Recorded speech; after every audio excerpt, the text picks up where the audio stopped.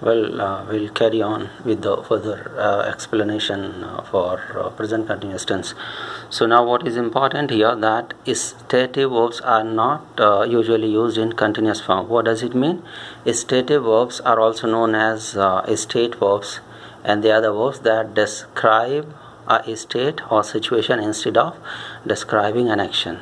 These verbs usually relate to emotions thoughts opinions senses and a state of being whereas stative verbs are the opposite of dynamic verbs which express an action process or change. So dynamic verbs are used in present continuous tense and stative verbs are used with the present uh, simple tense here. Uh, look at the example given. He loves his dog. The verb in this example is loves.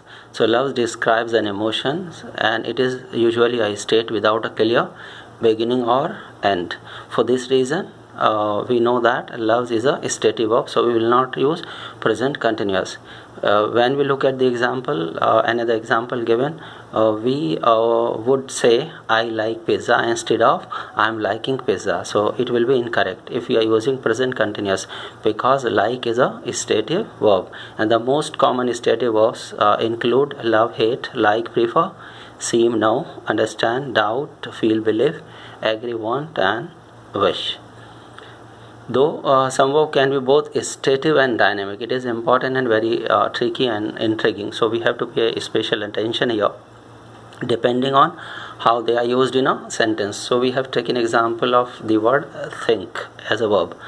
So uh, we can look at uh, these two example with the very uh, use of the same word like i uh, think basketball is the best game and the second example i'm thinking about buying a car.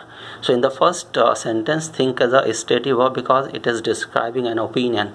And it is uh, difficult to determine or decide uh, whether uh, it's an opinion that it is an opinion and where it uh, begins or ends.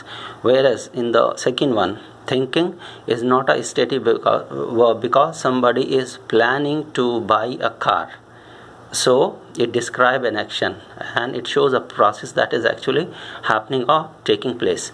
So what we have to remember here that stative verbs do not describe an action. Instead they describe a state of being feeling or thinking something